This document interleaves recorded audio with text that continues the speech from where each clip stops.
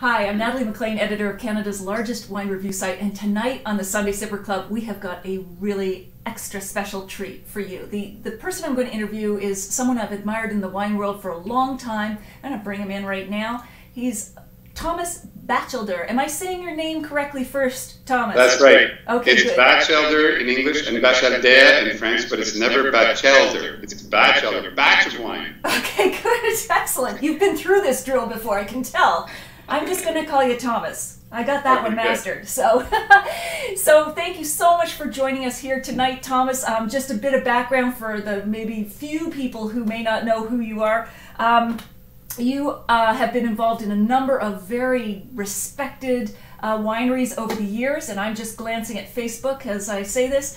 Um, so, what I know, but you're going to fill in the gaps for me, please. There was Le Clos Jordanne, um, and now you have your own label in Niagara, you have it in Oregon and in Burgundy.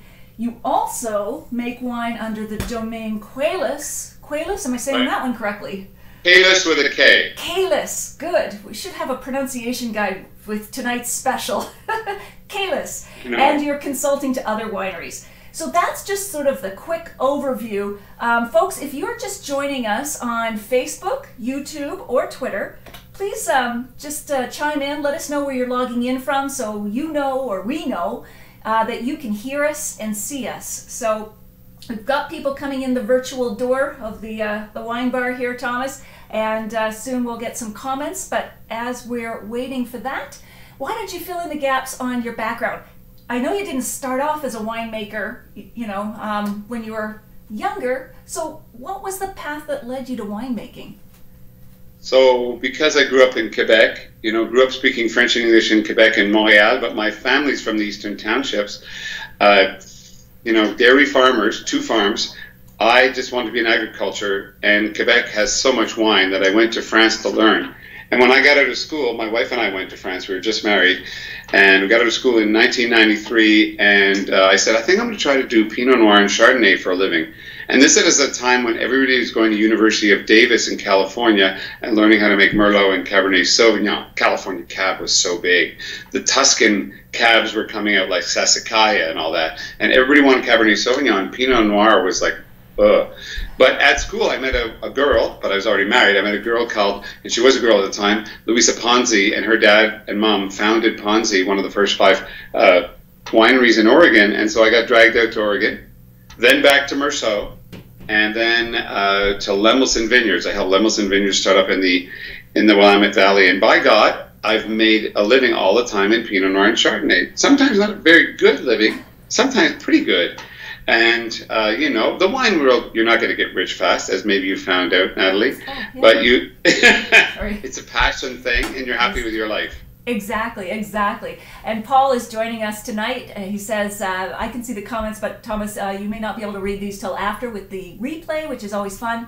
Um, Paul says, Good evening, Natalie and Thomas. Looking forward to the topic tonight. Welcome, Paul. And we've got some other folks who are in there, um, just haven't commented yet. So if you are just joining us tonight, we have Thomas Bachelder, um, and he has a number of wineries. We're just getting going here. I'm really excited. I've got 11 of his wines. This isn't going to be a technical tasting, but I will be showing you as we chat. We're going to chat about 20, 30 minutes with Thomas, and then, um, per our discussion from past Sunday Sipper Clubs, we will then um, uh, bid adieu to Thomas and keep the chat going, whether we want to keep talking about this particular topic or other topics. So, Thomas, one part that I know you're sort of focused on the wine here, but weren't you also a journalist at one point?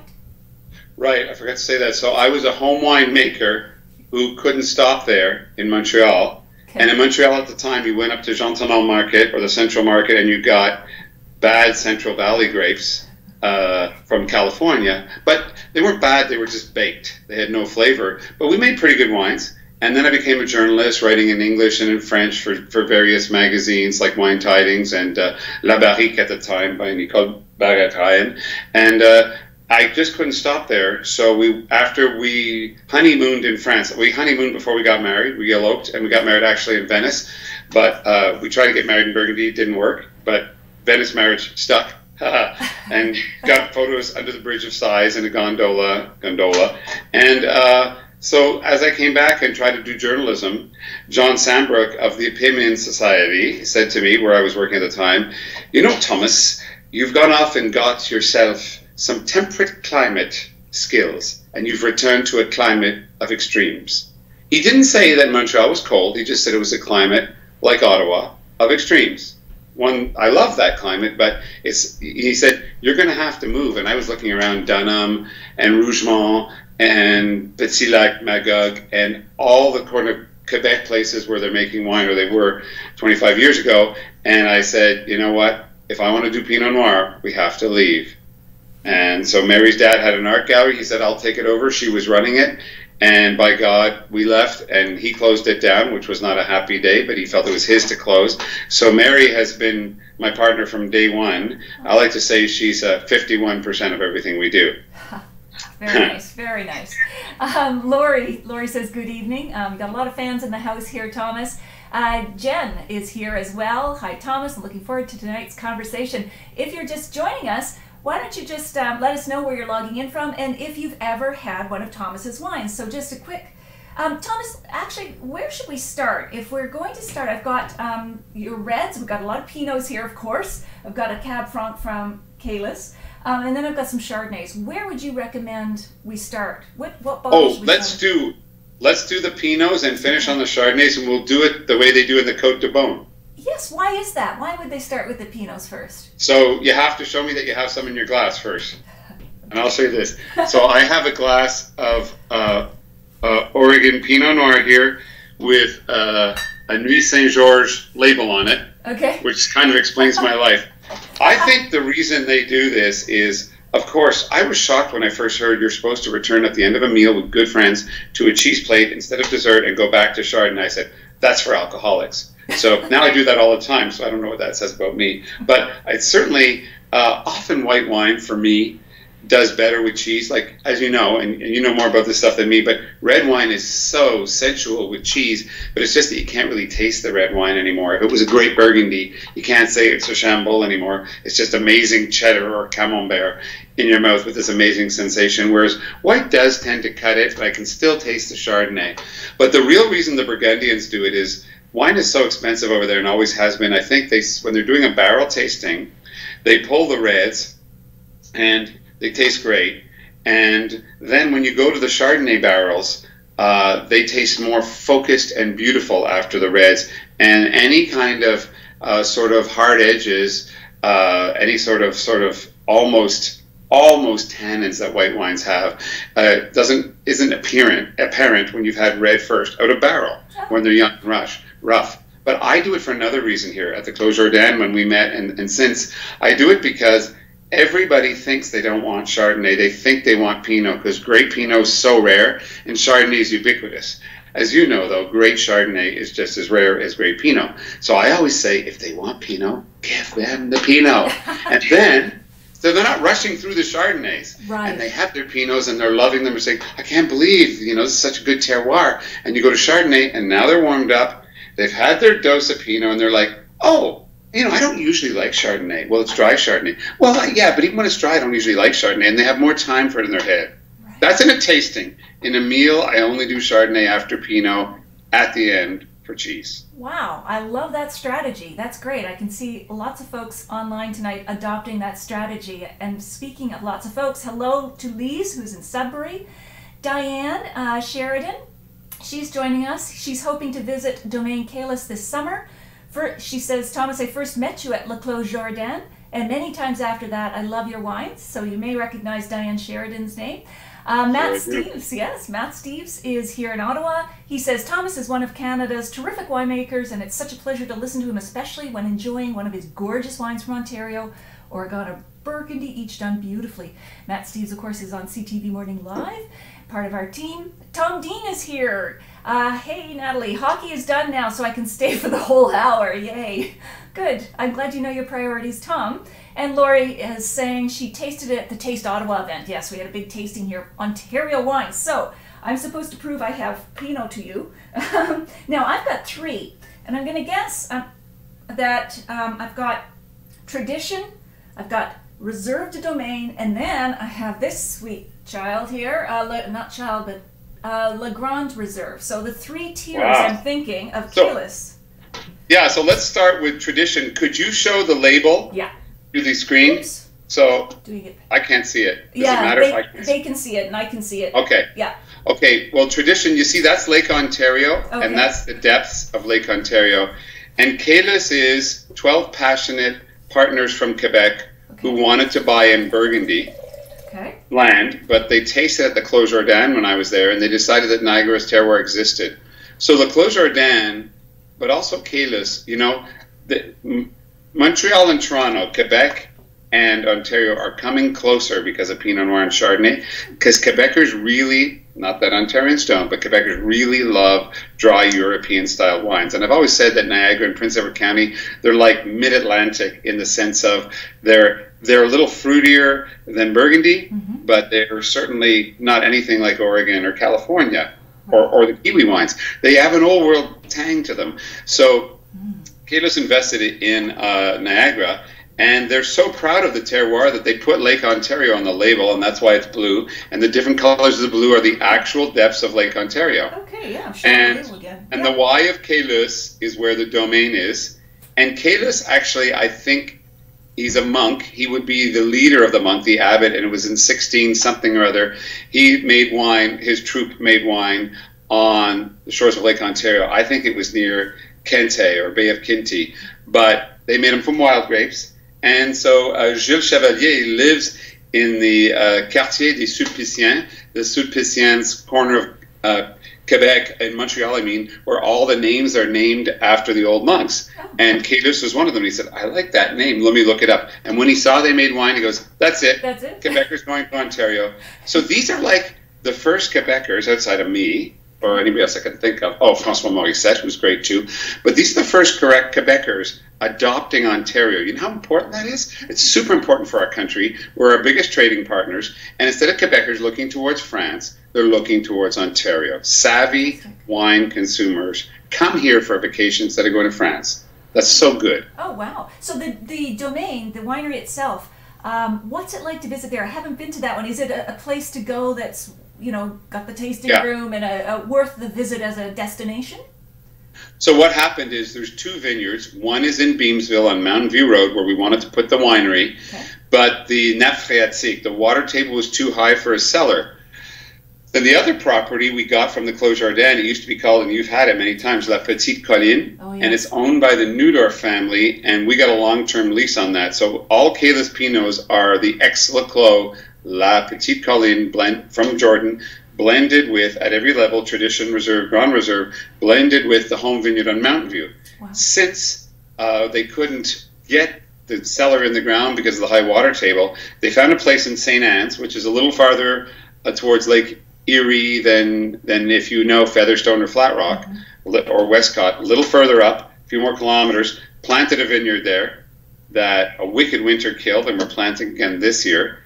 And it's a beautiful, what we say in French, maison canadienne, which we say log cabin in English, and a beautiful log cabin with a functional building next to it and a gorgeous uh, cathedral, a tasting room. But it's a destination. You have to find it. And That's that's the bummer about not being on Mountain View in Beamsville. But you get a good reception when you get there. That's awesome. Well, it's part of the test. Are you worthy of the wine? Can you find the winery? So uh, Lisa's saying he, she has a question for you, Thomas. What is your most interesting wine experience with that gar- gu- that guitar that I see in the background? Oh, Yes. And you had a That guitar is so earlier. you were warming up, I think. are you? Wait a sec. Are you? Is she asking about guitar Yes. or that guitar? I think that's the one she sits in the background, but you are playing the one. I'm sure she'd be interested to hear both, or even a little uh, ditty. At the end of the show, I'll play a song. Yes, but here's the thing: that song, I was coming up with my first girlfriend from Cape Cod uh, when we were teens, like my daughter's age ages now, and we stopped at this lodge. I go Von Trapp Family Lodge, and this lady in a what's the women's dirndl called, or is it called a dirndl? You know, the women wear the That's- green and the smock, and from Germany. Okay. You know. Yeah. And this old lady served me, and it was Maria von Trapp, like the Julie Andrews, uh, but the real one. And I'm like, oh, 20 years later, we go back with our kids, and I don't recognize a thing. It's because it's burnt down. Oh, And they have this new thing that looks more like a double tree, but it's totally worth visiting. It's so historical. So many pictures of Von Trapp family on the walls. And as we leave, we're going up to Montreal to visit family because we're from Quebec originally, and we stop in Montpelier, Montpelier, the head of the um, capital of Vermont, just like Ottawa's capital of, of, of Canada. And I find in a in a antique store that little guitar that's made in Spain and sold out of England. And the Von Trapps ran a music trap uh, yeah, music trap, music camp for many years. That's how they lived. Oh. They taught thousands of people music on the hills of Stowe, Vermont. And I said to that guy, "How long has this guitar been in the store?" He goes, uh, "About a half an hour." And he said, "Where does it come from?" I goes, "Oh, you know, across the street from the Von Trapp family lodge." And I was just back from there. I said, okay, it's a Von Trapp guitar. I'm buying it. How much do you want? 75 bucks. Let's go. Wow. It's a 1940s guitar made in Spain, came through England to the Von Trapp family. I believe that. I want you to believe that. That's a great story. I love the story. It doesn't matter. that's awesome. It's a, it's a story. um, oh, that's fantastic. Lee's loved that story. And now oh, Lee says it was fate. Yes, indeed. So, okay, so this is Tell me the difference then um, a little bit between the tradition and the next one up, I think, is the Reserve de Domaine. Right. So actually, Queylus is going to slightly rebrand this year with the 15s. That little line that says reserve, and on the first bottle, it's a little blue line that says tradition. Yeah. The reserve is a little uh, silver line. What happens as okay, what people are going to learn, and it took me a long time because maybe I'm thick, is the bench in Niagara is the best place to grow wine. That said, okay, just uh, let me hang that out there for a sec. People are discovering, they're rediscovering Niagara Lake, they're rediscovering Lincoln Lakeshore, which is below Beamsville, and Creek Shores, which is below uh, like the Clos Jordanne, Jordan, and Vineland. And the soils are heavier there, but because Niagara comes from a glacier pass, there is gravel pockets anywhere. And this is something everywhere. I wouldn't have known this when I first met you, Natalie. But then you see Francois Morissette do stuff on the plane that's totally Pearl Morissette, that's totally mineral and stuff, and you start thinking about it. So, but in general, stuff from Creek Shores or Lincoln Lakeshore, which you can look up on a map of uh, Wine Country, Ontario. Just Google that website; it's great, has all the maps. Uh, that stuff is more foursquare and richer than the bench. The bench is lighter in color and finer and more mineral. Okay. So now that we've had that little bit of a, a boring lesson, I got to say that by the time you get to the Grand Reserve, yeah. the Grand Reserve is mostly the bench. Neudorf site used to be called La Petite Colline. Okay. And that is so fine and so mineral and actually a little bit of steer. Coming down through the reserve, it's about 50 50. And when you get, when you start off, and I don't say entry level anymore, I don't like that when it's a $30 wine. I prefer to say village wine. Our village wine at Queylus de Tradition is, or tradition, that is made the same way as the other ones. It's just a little more foursquare. Sure. In other words, when you, I'm wearing like a Roots cotton shirt. When you pay a lot of money, you get a silk shirt. A silk shirt is our Grand Reserve. It's not heavier. It's lighter on its feet. It's a ballerina. The tradition is more of our rugby player, but he's, solid. He dances as well as a rugby player. You know, still Pinot. I hope that you're still a writer too. It's still in you there. Yeah. it's great. And by the way, folks, I've just posted a link to where all of these wines are. So Thomas, I'm going to put they are all on the website, but people can click and see where they are in the liquor stores closest to them.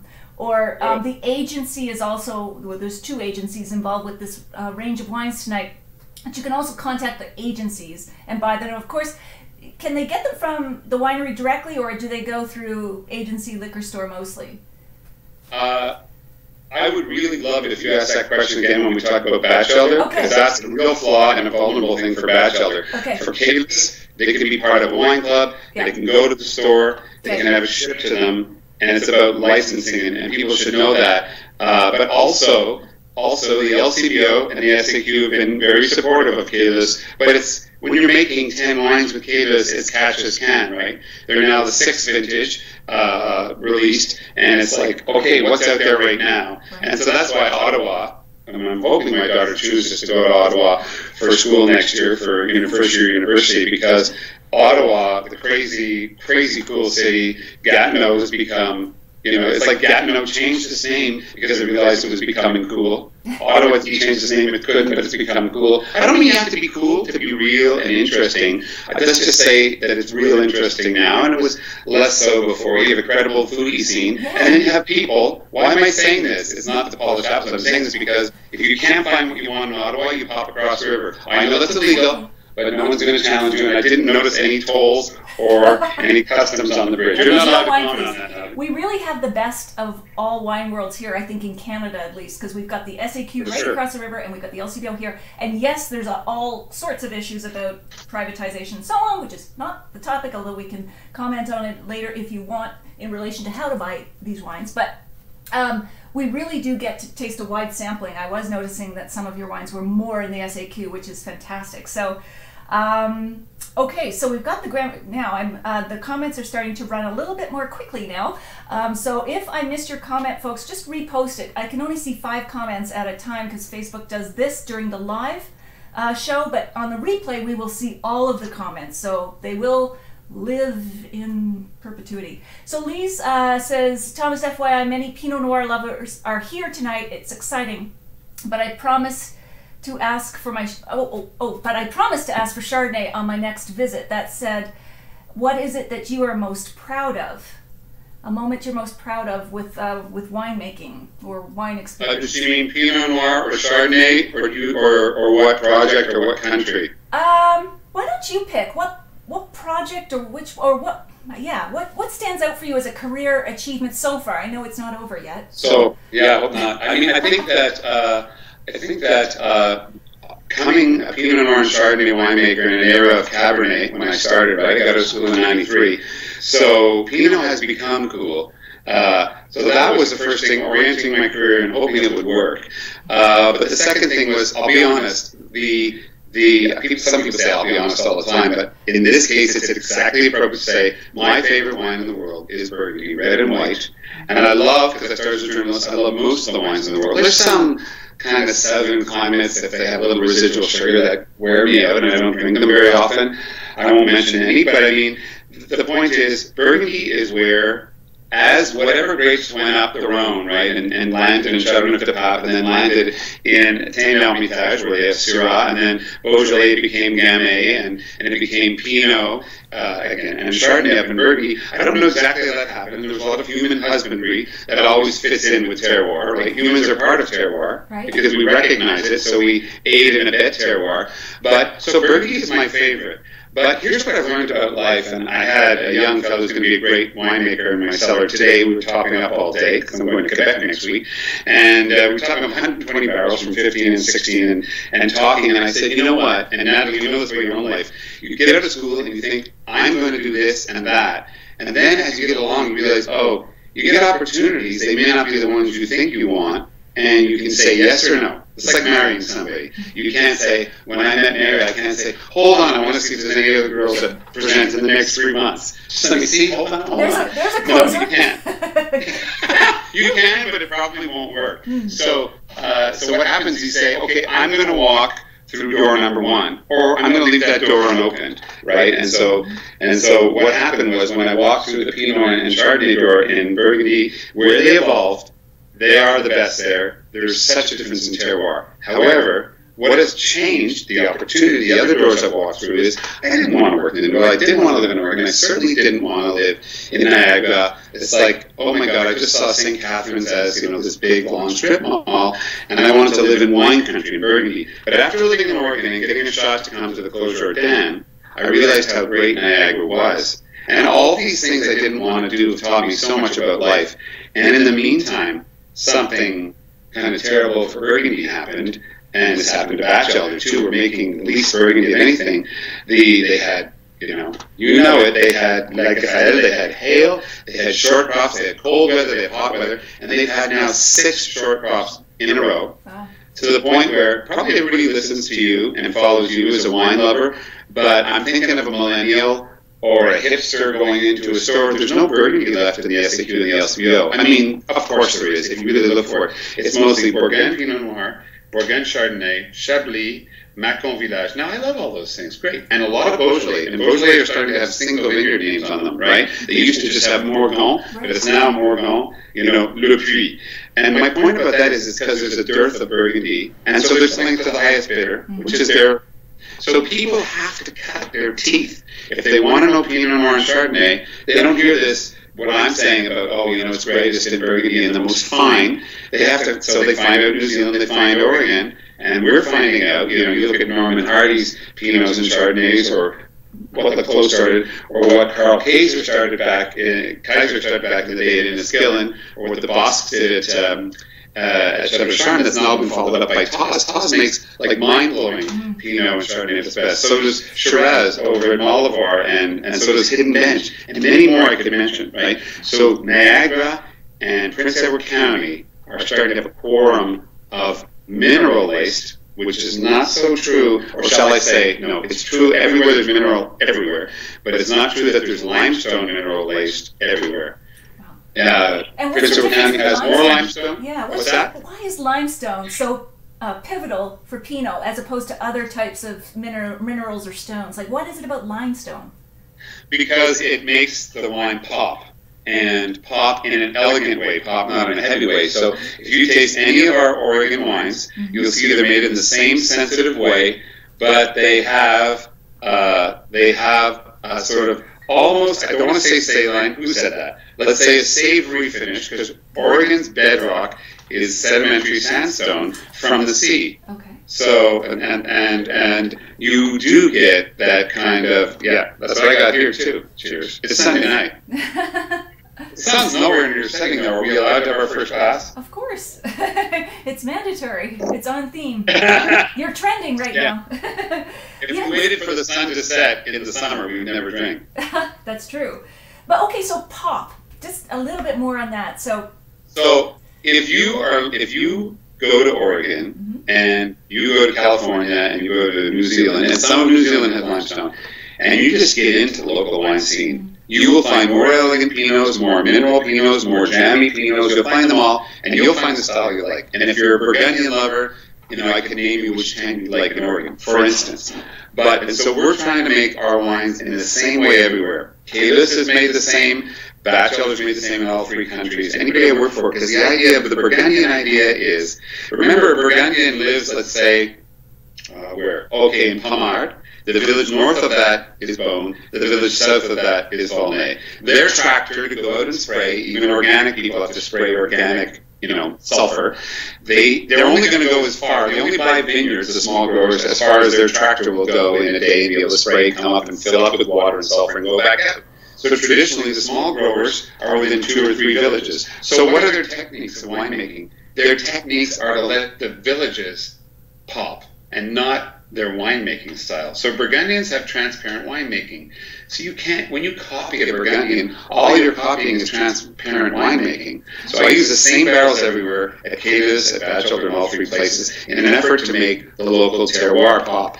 But especially in Niagara Burgundy, and and really in Prince, Prince Edward County, the limestone finish is when the wine is going across your palate with beautiful, uh, a beautiful long finish, and then all of a sudden there's this chalky thing that goes. Think, uh, think Volvic mineral water instead of Evian.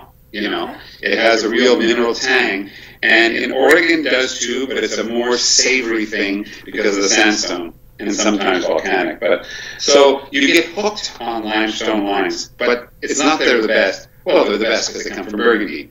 But outside of that, I, I want to just take a step back. There's a huge opportunity for Canadian wine right now because we have limestone and we make European style wines.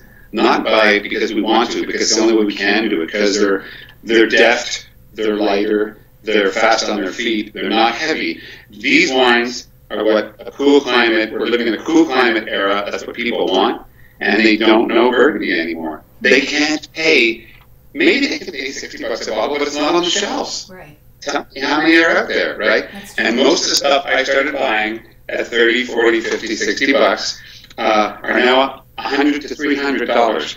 And so I'm not bitching against Burgundy because I work there, but I'm just saying there's a huge opportunity for Canadians to wrap their mind around the limestone wines, not just Pinot Chardonnay, but also you know Riesling and Cabernet Franc, Gamay, and a few others that Ontario is producing. Like it's our, it's our time that's coming, right? Wow, It really exciting. is. I love how you're phrasing that too, or how you're putting it. It's like a rallying call. Um, and we've I've been caught up. First, these are amazing. I, I'm not commenting. I'm just um, enjoying them as you're talking, Thomas. They're amazing. The the finesse, the length, everything. This isn't a technical tasting, but they're just they are mind blowing. I love love your style of winemaking. So, so one thing about Queylus is, and, and this is what I'm learning slowly, and I, I'm hoping what I'm saying to people is, whether they're phoning in from Quebec or Ontario or BC or the States, is you got to visit Niagara and Prince Edward County to get it. Mhm. Until you go to Beaune and you realize that, you know, uh, like I just said, to reiterate, one stop south of the Beaune is Pommard, two stops is is Volnay, and three stops is Meursault, and you're in white wine country with Chassagne and Puligny, and you learn that in Niagara too. You see where the mountain is. It's not really a mountain; it's escarpment, and you and you taste the wines on site, and you say, "I'm going to follow these," and it's totally followable. The one thing that Jancis Robinson ever got wrong in her life was she says Canada is not big enough in the Okanagan or in Ontario to export. And I think what we need to do is get rid of the shitty grapes, and then we'll have a lot more land. There's about 40 grape types planted here, and there should be like maybe eight, Wow. because a lot are not winter hardy, right? Okay. Hmm Uh, and so, anyway, that's that's just a little diatribe. But Queylus, especially, when you see the difference, if you ever taste Bachelder against Queylus, and people always ask me, "Oh, do you macerate Queylus more?" And there at Queylus, I work with uh, Kelly Kelly Mason, who's the associate winemaker. She's wonderful. I can't do it all, and she's doing most of the floor. And we're trying to do it the same way. But here's what you learn when you come to Niagara, which is what I was talking about. The villages, our villages are like Grimsby, Beamsville, Vineland, Jordan. They roll out the same way as you know yourself along the escarpment. They roll out the same way Burgundy does in, in a row. Uh, probably not as quaint the villages, but they're cute. And Beamsville is close to lake. It gets a lot of sun, and it's a little more foursquare. And it's especially foursquare just below the escarpment where the Queylus vineyards are. Good news is you got color and weight. And so, like I said about the root shirt and the silk shirt, expect lots of flavor and richness in our tradition, which is again not an entry level because it's 25 to 30 bucks, but and it's like a Christmas wine for some people, mm-hmm. a special occasion wine for some people, a Tuesday night wine for people of more means or who are just totally bitten. But as you go up in Queylus, you get more finesse, no more weight, just more finesse and more attention to detail. Yeah, uh, fantastic. Um, and um, folks, I'm sorry, you're gonna have to keep reposting because this is just so much in, so interesting. John John Steves is here, si- sipping Niagara Pinot Noir and engaged uh, with Natalie and Thomas, talking fantastic about fantastic Pinot. What a great Sunday evening, John. I'm so glad you could join us. Lori, um, let me just make sure. Oh, they're going off the screen. Lori, do you know which restaurants in the Ottawa Gatineau area that carry your wines, Thomas?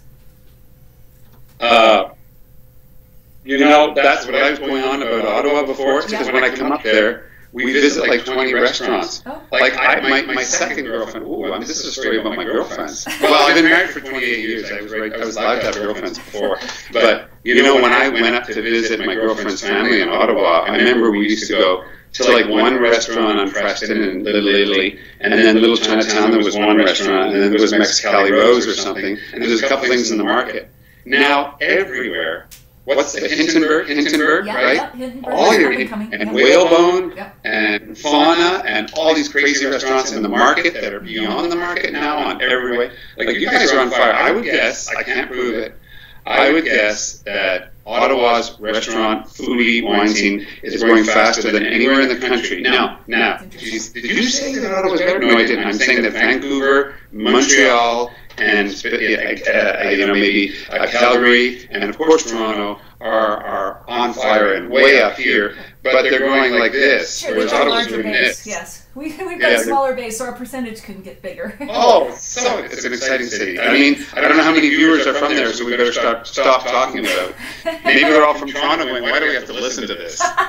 yeah, I'm sure that's what they're saying, Thomas. Um, if you're just joining us, we have Thomas Bachelder uh, from lots of wineries, his own label, Domaine Queylus, formerly La Clos Jordanne. Um, please let us know where you're logging in from. Just uh, give us a shout out, what city. How about just a yes or a no from all of those who are already online? Have you ever had one of these wines? Or which one was your favorite? Just yes or no, that kind of thing. I'm just interested. It looks like um, everyone who's at least commenting, we always get lots of people who are watching but not commenting, and I, I'm totally cool with that till you get brave. Um, but who's had uh, one of these wines that we're talking about tonight?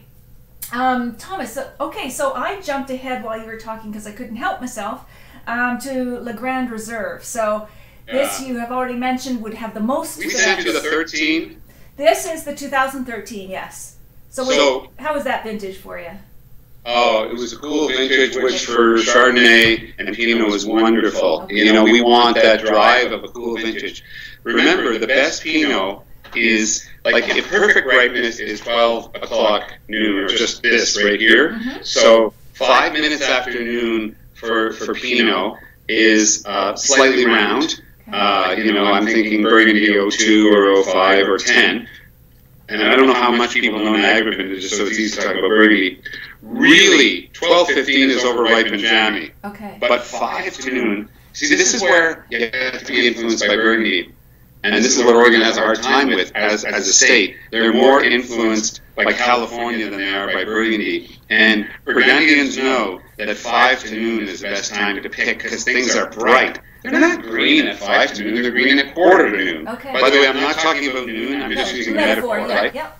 Yeah, and so bright fruit See, Pinot should dance between red and black fruit, and it should have, you know, you say, oh, that's framboise, you know, that's, no, no, no, no, it's strawberry. Oh, no, there's a little cassis in there. And, and that's what it does as it opens up throughout the meal. But it just does that because it's a thin-skinned grape.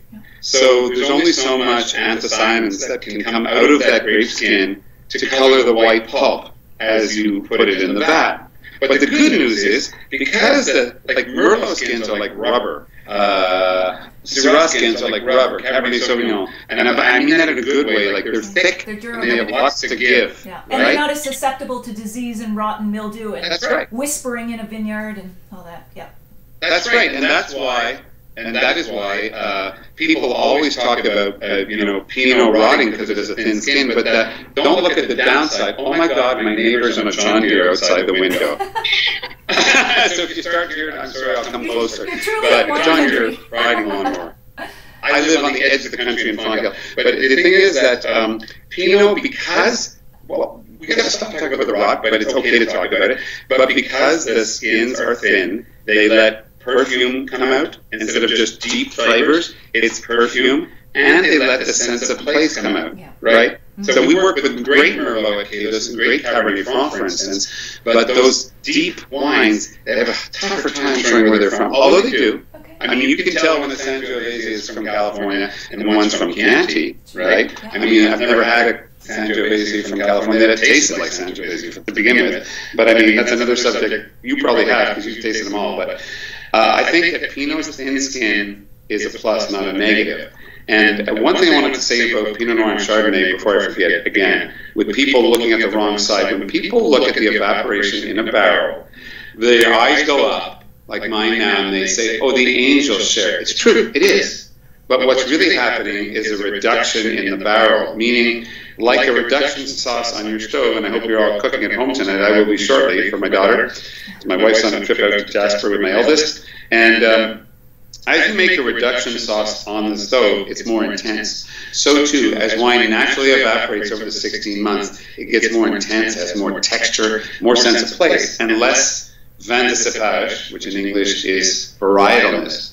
Varietalness is not something you look for in the great terroir wines of the world. Varietally correct is entry level wines and medium level wines, right? Okay. But like, remember that Europeans didn't know that uh, Morgon was Gamay and Beaune was Pinot. But the, I mean, before the last era of marketing we're living in now, they would say, let's start Christmas dinner with a Morgon because I like that flavor and that sense of place, and let's move to a Beaune on the turkey because it'll work. And that's the way we've got. I mean, Mondavi started it, and he was a great man. He he took us from calling things, you know, Sancerre and, and Champagne and, and Hearty Burgundy, and he made us call them by the grape types. But now we have to do the next step ourselves, which is you shouldn't be calling something uh, Pinot Noir too much. You should be calling it that great red from Beamsville or from that single vineyard. Because Chardonnay and Pinot can become commodities, but single vineyards and sense of place can never be copied. And we can collect more and more of them. It's like collecting shot glasses when you go around the world. You can collect in airports. You can collect wines from around the world and go on this journey of discovery, which you do, which you help people with. I know. No, that's a great way to put it. Remembering the place, because that's it, well, it's just like going on a vacation. I mean, it's that sense of place that those memories are associated with place. And I know that when I have traveled around the wine world, it's implanting the geography in your memory, literally, because the, the smell and the taste and the, the place and the visuals, they all come and they weave together in this sort of sensory map that you will never forget. Um, right. So I want to I want to underline what you're saying. You said something important. It was beautiful and poetic. So if you go to Oregon, right? This is an Oregon I have that I'm drinking.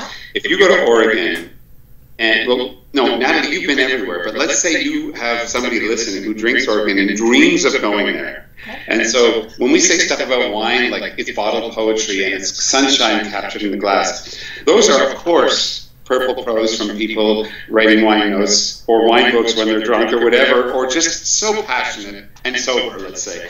But the thing is, it really is, and I know it really is. And when the Burgundians get you in their cellar, you could be there. You can't schedule three visits in a day. You got to schedule two because you know you're going to drink at lunch too, and you're in Burgundy on holiday. And if you just catch a glint in their eye that they're having fun, then they start opening old bottles and they'll try to figure out your birthday. And with women, it's especially hard because nobody wants to get pick the wrong decade. My God! Oh, we can pick one younger, but then you don't get to taste as old a wine. Blah blah blah. But when you stand there and say, you know, well, the year I went to school, right? So 1993. Oh my God, what was I doing? How young was I? Who was I hanging out with? What kind of summer was that? Wine brings all that back. You know, a banana doesn't. You just want to eat a banana before it rots. And I love bananas. So it, everything you said about bringing back physical memory stuff to that reader out there of yours or that listener who's never been to Oregon but it loves Oregon, when they go, they'll be truly marked for it by life if they have their eyes right? That's true. That's true. And it's it's like the um, the memories we hold most or that get most deeply implanted are those that are cemented or whatever put in amber by emotion. And wine triggers emotion, and you'll always remember for the good and the bad um, that are laden with emotion. And so when you go to these places and drink the wines and you're having that good time with the guy with the glint in his eye or the winemaker, that is what you'll remember because it's all, again, brought together for you that way. I'm totally losing the track of these comments, but that's all right because we're having such a great conversation, Thomas. If you are, Elaine Bruce has said there's a bit of an echo. Elaine, um, I'm still trying to optimize the technology, but sometimes if you turn your volume down, you won't get as much of an echo. I'm not hearing it. I know Thomas was hearing it a little bit, but we're doing our best to optimize this over time. So give that a try, Elaine. Lori Demings, I know you've been commenting and you keep falling off the ledge there of the comments, Lori, but I appreciate it and uh, keep trying. Um, Giuseppe Sportelli, um, I like organic wine. It is uh, the best te- testing of grape growing. Cool. Okay. Uh, Lori uh, is a comment to Thomas. You're not drinking your own wine. What is your favorite Pinot? Uh, oh, you mean if I'm not drinking my own wine? What no, she's saying you're not drinking your own wine right now. Oh, I was drinking. Yeah, I'm drinking Bachelder Oregon. Oh, okay, right that now. one. Right, you said you had Oregon wine in a Burgundy glass, but it's that that Oregon. Oh, yes. Okay. Okay, listen. Can we pick up on the organic thing? But first, yep. I want to honor Lori. Yep. So, can you hold up uh, any yep. of my bottles that has I've this? I've got the Oregon right here. You want the Oregon? So the left side is the Vineyard of Oregon. The middle is Niagara, the heart of the project and where we live. We're Canadian. And the right side is Burgundy. Those three vineyard symbols, we didn't have a family crest. So that became the crest saying that we worked in three countries. And the reason we worked in three countries is because I had worked in three countries.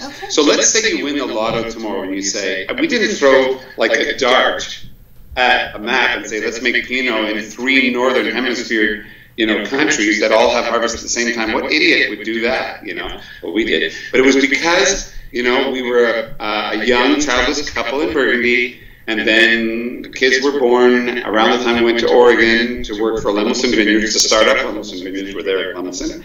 And the kids went through elementary school and high school in Niagara with the Clos Jordanne and now these projects. And so if you win the lotto tomorrow, well, Natalie, let's not use you as an example because you probably could, but most people, if they won the lotto or if they were just naturally fortunate and they went to Burgundy, Niagara, or Oregon, or, or Kiwiland and said, I want the best grapes, you can't get it. These people are paysans. They've had their roots, like Batch Queylus is a small domain that grows organically. Bachelder is what's called in France a micro-négoce. We buy grapes on long-term contracts, hopefully from the same plot and the same rows every year, right? I can't, I don't have the money to buy vines, so this is how we do in Bachelder. But the thing about it is, you know, you can't walk into a wine region with a lot of money and say, oh, you know, give me Clos Vougeot. You can't do that. People work on a handshake and they work on long term. So we realized when we started Bachelder that because I was a journalist, I like you, I had this curiosity, and even though I've been a winemaker for many years, and I, what if Oregon? What if you don't like Oregon? Let's say you don't, uh, because you find it too heavy-handed. But what if we did it with the same sensibility that Burgundy has done? Hmm. And what I found, of course, conversely is what if people love Oregon and Niagara and they've never heard of Burgundy, which is happening more and more because it's so expensive, and they think it's austere and hard, and so they taste one of your Burgundies and they say, "Well, this is like your Niagara except different." Like the world's upside down; it's changing so fast, right? When we do the I4C, uh, the Cool Climate Chardonnay celebration, third week in July, which you know is a lovely event. Wineries come from around the world to to pour their Chardonnays in Niagara, which Niagara's always a home team so it's really great for Niagara. But the winemakers have gotten better and better at Chardonnay because of it, because they're tasting everything. And they're tasting Meursault and Chassagne and Central Otago and, you know, Southern Chile and everything. And I'm watching, and these excited couples and groups of women and groups of men go, Oh, look, did you see over there from California? It's Kistler. Oh my God, it's David Ramey. And they say, Oh, and I like that gray haired guy's wine too. Well, they weren't talking about me. They were talking about Jacques Lardière from Louis Jadot, one of the best. Was standing right beside me. I was like, my knees were weak. I was beside him. And they go, oh, and I like the gray haired guys. Yeah, that wine costs 150 bucks. It's called Chassagne Montrachet Premier Cru. But the world's upside down now. Anything's possible for the new world. Even anything. Discovering terroirs is now. Like the monks in Burgundy was a thousand years ago. They discovered all the terroirs. We're still discovering them now. But you don't discover them if you make 15 buck varietal wine, although we all need that. I'll put my hand up for that.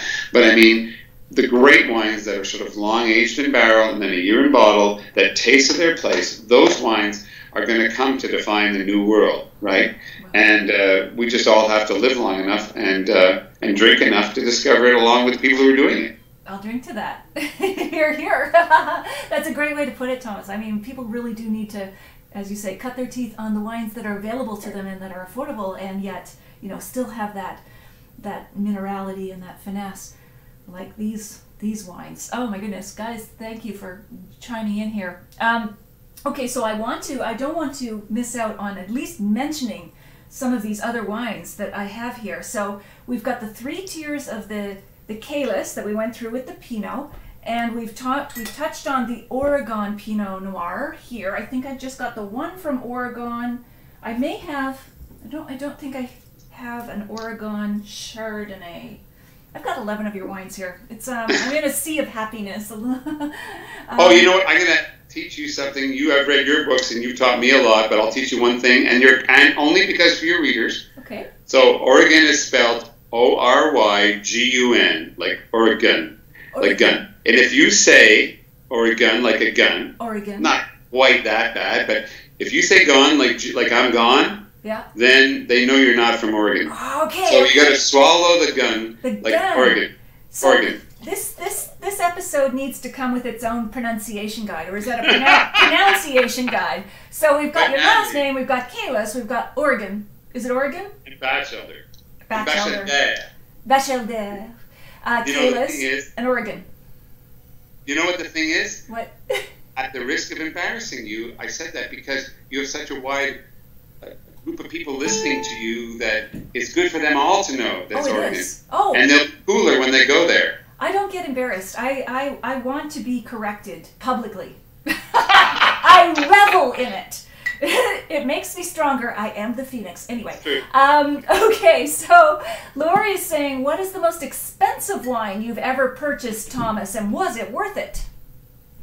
Yeah, so to finish the last question in one sentence, yes, the most, the best wines I've ever had are from Burgundy. Mm-hmm. The most exciting wines I've ever made are from Oregon and Niagara because you get to define the terroirs. If any of you were in the cellar with me and we had 10 barrels of a single vineyard, we would probably all agree, and, and Natalie's done this with me, on which ones showed what we thought was that terroir. And that's where humans come into terroir. If you just put them all together, it's a little muddled. Even a single vineyard, you're better to declassify a few barrels and to get the heart of what that is. So that's why. But what's particularly exciting about Niagara right now is that anywhere we go, and we're going places as a group, like Niagara and BC are traveling to Canada House in London this May in Trafalgar Square for second time in a row. All of the A-list writers come. They want to know about Canada. It's expensive to travel Canada. We're clearly coming on. The stuff that Karl Kaiser and Donald Ziraldo dreamed of in Inniskillin, that the Boscs dreamed of, and all the other pioneers is actually happening now. It's we're never going to be a huge exporter. Jancis was wrong, right in that, but she was wrong in that we wouldn't be exported. People have a thirst for mineral, tighter wines, not goopy wines right now. They want wines that are becoming more savvy about their food, so they want wines that dance and are a little lighter footed with their food. They want wines that are 12.5 or maybe 13, not 14.5 and 15, right? So all, but when I go to New York City, with, with the same group, we have a group called Somewhereness, and sometimes it's just the Canadian Trade Commission that helps us get there. Uh, and, and I'm pouring Canadian wines because it's a Canadian show. And uh, they say, "Oh, I hear you make Burgundy in Oregon too." And I'm like, "Yeah." And uh, they go, "But I'm here for your Canadian wines." I'm, and I'm like, "We go out to BC. They're part of Cascadia, Oregon." Washington, they're Cascadians. I go out there with the Bachelder Oregons, which are fine and lovely and really mineral and pretty. And BC is always asking me for Ontario. I'm like, what? It's changing right now, and BC is also coming into its own. As you know, Nova Scotia is coming into its own. Quebec's trying harder and harder and getting some great wines too. So, as a country, we're going to be on the radar. It doesn't help that we have a pretty cool and young wine, uh, prime minister. And by that, I don't mean to get political in Ottawa. I just mean to say most girls find him good looking and they prefer that than an orange comb over. And and at the same time, are you talking about orange time, wines? Are we going off topic here with the orange wine? we didn't talk about organics. no, that's true. We go where the conversation takes us. But sorry, I interrupted you. Keep going. no, let's talk about organics. Organics. I came out of wine school to honor that other question. I came so that I came out of wine school and I said to Mary, I am going to buy someday. I don't know how a domain in Burgundy. I'm going to never filter my wines, and I'm going to be organic. Well, uh, I never bought a domain in Burgundy, but I continued to work in Burgundy. I worked for three domains there, and of course made my own wines there. So that's kind of okay. See where it takes you. Filter. I whoops! I just dropped something. on. You told me I'm not supposed to drop anything or thump the table. okay. So filtering wine. To say that an unfiltered wine is better than a filtered wine is to say that wine owes its qualities to the properties suspended